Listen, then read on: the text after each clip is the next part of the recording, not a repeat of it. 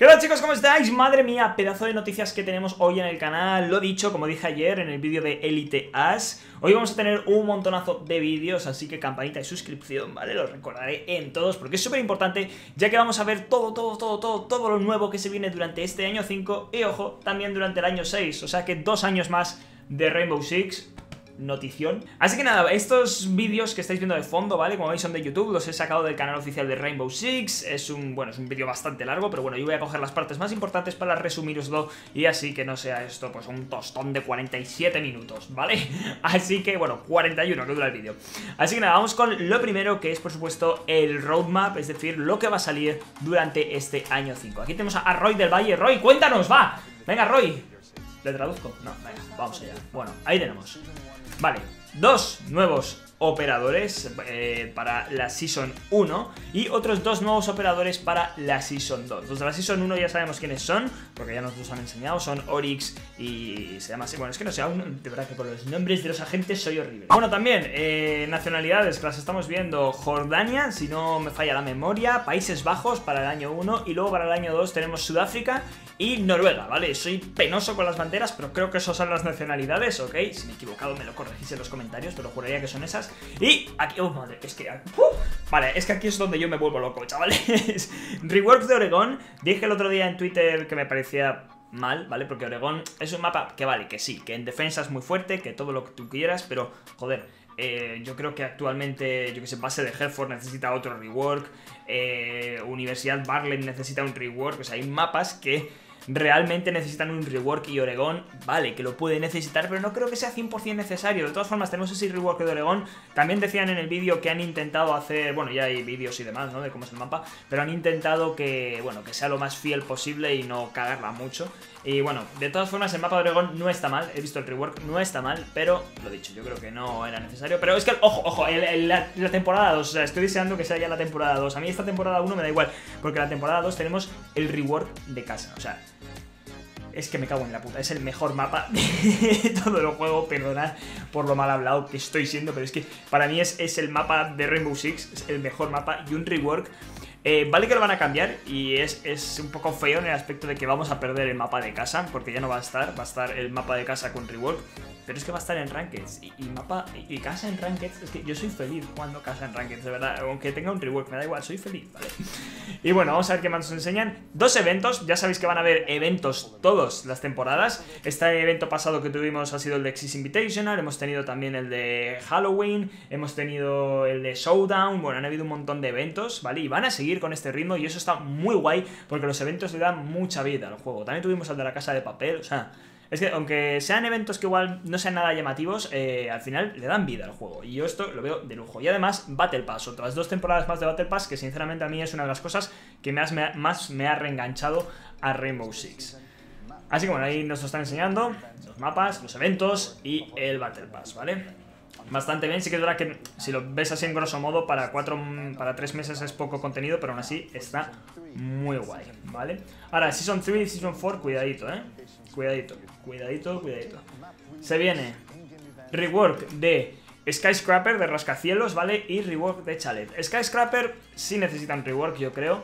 Eh, lo dicho, creo que hay mapas que lo necesitan más que él, pero bueno, está bien que le metan ese rework. No sé qué mapa sacarán a cambio de Skyscraper, porque claro, si meten... Hay que ver, ¿eh? Porque yo creo que Rankeds van a ir sacando y metiendo mapas. Ya iremos viendo. Luego, Chalet, ¿vale? Chalet que lo mismo, pienso que no necesita un rework como tal, pero, pero yo qué sé, si lo quieren hacer, por algo será. Si, cierto es que las defensas también son bastante fuertes, generalmente en Chalet, pero no sé, no sé, no sé, no sé. Bueno, eh, la gente de Ubi sabrá. Y luego, de nuevo, eh, más eventos con más listas arcade y más Battle Pass. Cuatro meses, perdón, todo el año, perdón, con cuatro Battle Pass. Y, ojo, operador, el la última bandera, ahí así que me pilláis. no sé de qué país es. Lo siento mucho, esa bandera no la controlo. Pero bueno, tenemos un... Pero bueno, eso es a final de año, así que queda casi un año para que salga este personaje. Y luego el del año 3, eh, dicen que quieren guardarnos muchísimo el hype, ¿vale? Pone clasificado y además sale un logo que se parece al búho que había en la season... No sé en qué season daban un búho al acabar la season con el oro, con el platino, y eso no me acuerdo en cuál, pero se parece... No sé. No sé, es, muy raro, ¿eh? Lo de una gente que no se sabe dónde es ni nada. A mí me genera bastante intriga y dicen que va a ser una sorpresa. O sea que, nice por Ubi. Bien hecho eso, la verdad. Y bueno, esto es el panel completo del año 5. Eh, y además, claro, como no hay agentes extra, ¿no? Como solo hay un agente, pues lo que quieren meter, perdón, vamos a dar un momento para atrás. Lo dicho, como solo meten un agente, lo que van a meter es, eh, pues eso, mucho más rework de personajes y luego, pues, eh, mejoras a nivel de, bueno, del core, ¿no? Por así decirlo, del núcleo del juego, es decir, mejoras del juego. Al final es lo que han dicho, van a haber dos años más de Rainbow Six, lo que implica que tienen que implementar mucho el juego porque se viene la nueva generación y tienen que estar a la altura. Ya han mencionado que el juego eh, quiere estar a la altura de la nueva generación, o sea que es posible que notemos mejoras de gráficos, mejoras de, bueno, de fluidez, etcétera, etcétera. Así que cuidadito con el año 3 y el año 4, porque si trabajan bien puede estar muy bien. Perdón, la temporada 3 y temporada 4.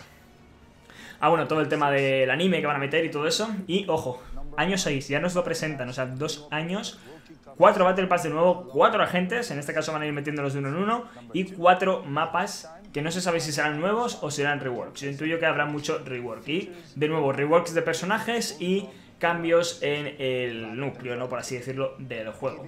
Y imagino que ahora también eventos, que no los están poniendo, pero no sé si los pondrán ahora.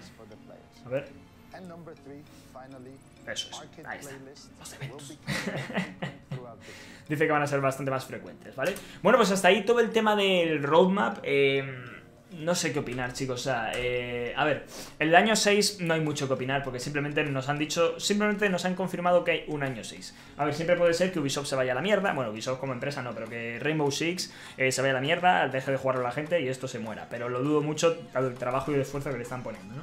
Pero bueno, el año 6 aún queda mucho, ahí lo tenemos. Lo único que sabemos es que los agentes van a empezar a salir mm, de menos en menos. Esto es una putada porque estamos acostumbrados, nos han acostumbrado ya desde pequeñitos que llevamos jugando a Rainbow Six, sobre todo todos los que somos más veteranos, a que cada temporada hay dos agentes. Y a partir de, bueno, de, sí, de la temporada 3 de este año, eso va a cambiar, va a empezar a ser un agente, un agente, un agente.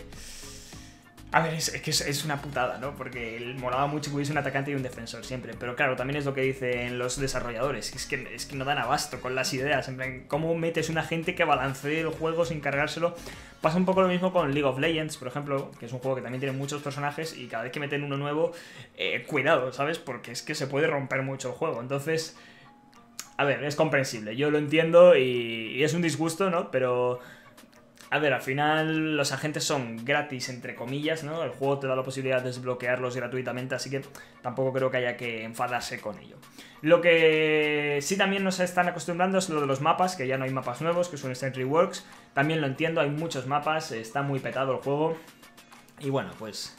Pues bueno, si meten reworks y hacen que todos los mapas que hay en el juego actualmente, Favela, Barlet, Avión, todos esos mapas que están como perdidos, por así decirlo en casual, pasen a Rankeds, es decir, que hagan un pool en el cual todos los mapas estén balanceados para poderse jugar en Rankeds, yo la verdad es que estaría contento, porque a mí me gusta la variedad en el juego y de hecho antiguamente estaban muchísimos más mapas en Rankeds y disfrutaba más el juego. Ahora que hay tan pocos, no mola tanto, ¿no? Aún así hay bastantes mapas. Y luego todo el tema de mejoras y tal, pues qué voy a decir, ¿no? GG, eh, o sea, es estupendo que mejoren el juego y lo del Battle Pass también me parece estupendo, sinceramente, porque ya os digo que a mí me encanta. Luego los eventos, luego habrá un vídeo hablando únicamente del nuevo evento que va a haber, pero canelita, canelita. Y bueno, los agentes ya ni hablemos, ¿no? Y por último yo creo que mencionar el, el, rework de casa que luego os enseñaré un fragmento de cómo ha cambiado el mapa de casa, ¿vale? En otro vídeo, así que estad atentos al canal. Esto es el roadmap, espero que os haya encantado. Nos vemos ahora enseguida con otro vídeo que hoy vamos a subir muchísimos. Un saludo, cracks.